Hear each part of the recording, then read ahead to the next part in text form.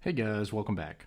Today I wanted to review the Chin series, which is one of the actions within the famous Princeton offense. In this video, we will cover the spacing and setup, the chin cut, the flare screen or drift screen options, before wrapping up with how teams flow from chin into 5 out if there are no initial scoring options. To start, the chin series starts with four guards along the perimeter. Two players are positioned in the slots with two players positioned on the wings. The five man or post player starts on the strong side elbow. The action itself is initiated with a slot to slot pass. As the ball is swung to the wing, 5 will step up to set a back screen for the initial passer to chin cut to the rim, looking for an easy finish.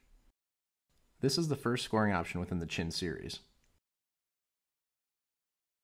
While most traditional Princeton teams will swing the ball from the slot to the wing as the chin cut is taking place, this isn't always the case, especially in modern, hybrid versions of the chin series, where most teams are looking to get into a spread ball screen. Here you see Princeton make the pass to the cutter from the slot, rather than swinging it to the wing beforehand. If the chin cut is not open, the cutter will continue through to the strong side corner. After setting the initial back screen, 5 will turn and set a flare screen for the player who initially swung the ball to the wing. This player's first option is to catch and shoot as they flare off 5 screen to the top of the key. If the defender goes under the flare or drift screen, they risk giving up the open catch and shoot three. If they chase over five screen, they risk giving up the curl to the basket, an option we will cover later in this video. The biggest key to creating space with the flare screen is walking the defender down towards the free throw line before flaring to the top of the key, like you see in this clip here.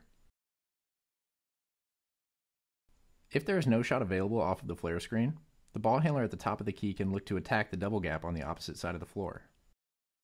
Attacking off of the flare or drift screen essentially mimics a middle ball screen, with five either rolling to the rim or popping to the top of the key, depending on their skill set.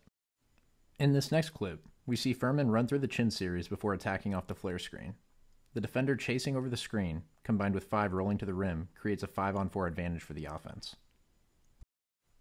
The ball handler attacking the double gap and into space off the flare screen puts a ton of pressure on the defense. So if you have a five man who can shoot, popping to the top of the key is a great option after setting the flare screen.